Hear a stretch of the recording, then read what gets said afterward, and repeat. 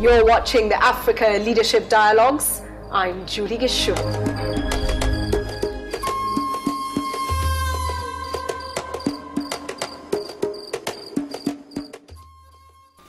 At a glance, she appears like a woman who has it all.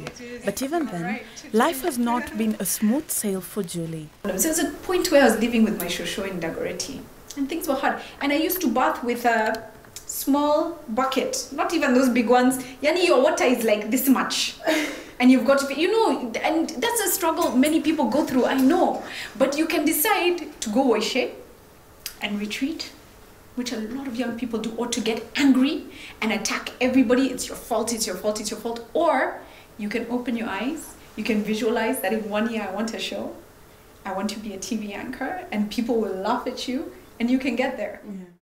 Her hard-working nature landed her in a newsroom in a media house as an intern, and though it was fruitful in the end, it was not short of challenges. And it was 1997. I had just finished my law degree and I had a few months before I went for my master's. I was trying to go and do my master's.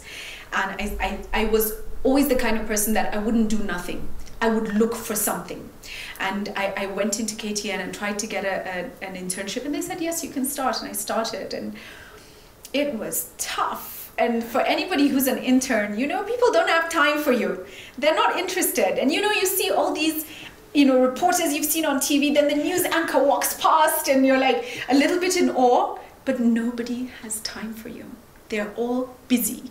A comfort zone did not seem to be what she was cut for, and hence the urge to do more than just read news propelled her to venture into different creative works that have aired on TV. My career in the media started, I think, 16, 17 years ago, and um, it's a long time to be in this in this space. At a certain point, I realized that the media was not giving me what I wanted to see on TV. Amid the challenges that come with being at the top, her family has played an instrumental role in keeping her on the right track. Uh, I have a husband who has fully supported me, and there are times I've probably gone home and said, "That's it, I don't want to do this media thing anymore." And he says, "No, if if God created you, and He gave you the ability to do this." Then you can do it and you should do it. As a woman striving to make a difference in the society, she has learned to be patient with herself and look at life from a positive dimension.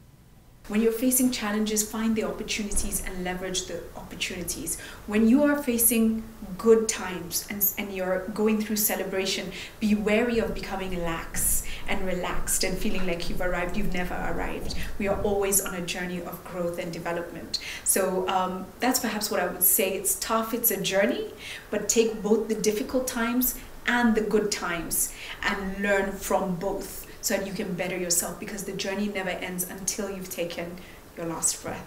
Her reputation precedes her, and her work has earned her international accolades and opened doors of opportunity for her. Right now, I get calls from all over the world, from the Middle East, from Europe, from the US. Come, do a show here. Come, host so and so. And it's because of creating something with global standards Let's give a warm welcome to President Barack